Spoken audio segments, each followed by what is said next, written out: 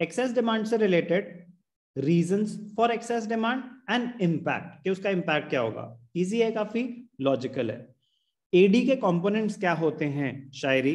AD is equal to C plus I C plus I in a two sector economy yes sir and overall four sector economy में C plus I plus delta plus G plus net exports class one remember yes तो ये होते हैं actual components of AD तो excess demand का reason क्या हो सकता है?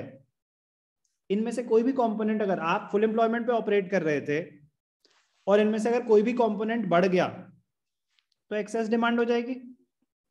यस सर तो इनमें से कोई भी तो कंजम्पशन बढ़ा तो पहला रीजन क्या हो सकता है? Rise in propensity to consume अगर आपकी टेंडेंसी टू कंज्यूम बढ़ गई, आपका कंजम्पशन एक्सपेंडिचर बढ़ गया।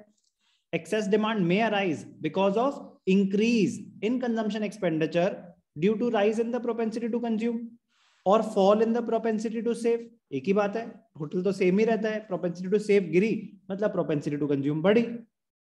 तो पहला reason rise in propensity to consume which leads to increase in consumption expenditure government ने टैक्सेस रिड्यूस कर दिए। अगर गवर्नमेंट ने टैक्सेस रिड्यूस कर दिए तो आपकी डिस्पोजेबल इनकम बढ़ जाएगी? यस आपकी इनकम बढ़ जाएगी तो आप ज़्यादा स्पेंड करोगे या कम?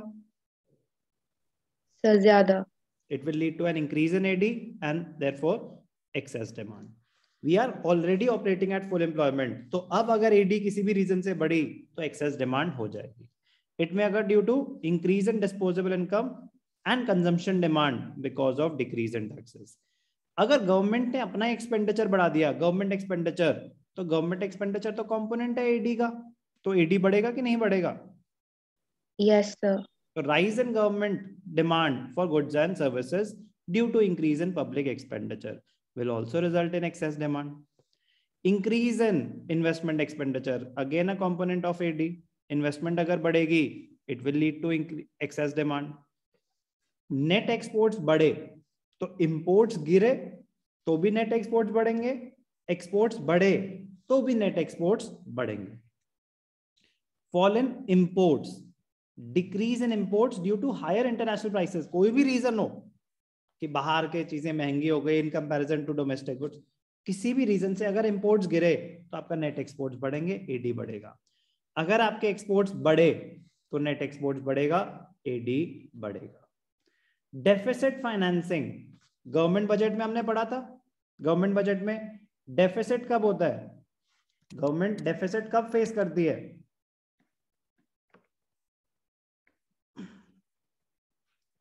चलो जनरल टर्म में कोई मुझे एग्जैक्ट डेफिनेशन नहीं चाहिए। गवर्नमेंट डेफिसिट कब फेस करती है? When dash is greater than dash. Expenditure is greater than revenue. Expenditure is greater than receipts तो गवर्नमेंट डेफिसिट फेस कर रही है शॉर्टफॉल है। डेफिसिट वो कहाँ से मीट करती है? बोरोइंग्स और एक सोर्स होता है बोरोइंग का। Printing of new currency borrowing from RBI government में borrow from RBI monetisation of debt monetisation of deficit उसको बोलते हैं deficit financing printing of new currency to finance the deficit of the government तो अगर नए note छपेंगे तो money circulation money in supply बढ़ जाएगी या कम हो जाएगी? बढ़ जाएगी। बढ़ जाएगी। तो एग्रीगेट डिमांड बढ़ जाएगी। Excess demand may be caused due to an increase in the money supply caused by deficit finance it must be noted that main reason for excess demand is apparently increase in any of the four components of aggregate demand कि इनमें से कोई भी बड़ा तो आपकी aggregate demand बढ़ेगी excess demand हो जाएगा। Provided we are already operating at full employment level क्या था ये reason for excess demand impact impact of excess demand impact on level of income output employment अगर आप ऑलरेडी फुल एम्प्लॉयमेंट पे operate कर रहे हो तो क्या आउटपुट चेंज हो सकता है? In real terms no sir output change नहीं हो सकता। अगर रिसोर्सेज ऑलरेडी फुली यूटिलाइज है फुली एम्प्लॉयड है क्या एम्प्लॉयमेंट बढ़ सकती है? No sir no but due to increase in prices what is national income it is the units produced in year in a in a year या फिर value of final goods and services produced in a year value of final goods and service value तो prices बढ़ने की वजह से inflation की वजह से वैल्यू बढ़ जाएगी कि नहीं? यस सर तो एक्सेस डिमांड सिर्फ़ और सिर्फ़ किस चीज़ को अफेक्ट करती है? प्राइस लेवल तो वैल्यू को इनकम को. Impact of excess demand excess demand is not a desired situation because it does not lead to any increase in level of aggregate supply as the economy is already operating at full employment level excess demand has the following effect on output employment and general price level output no change excess demand does not affect the level of output because economy is already at full employment level.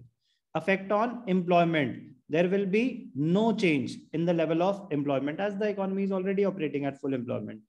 Effect on general price level. Excess demand leads to rise in the general price level known as inflation as aggregate demand is more than aggregate supply.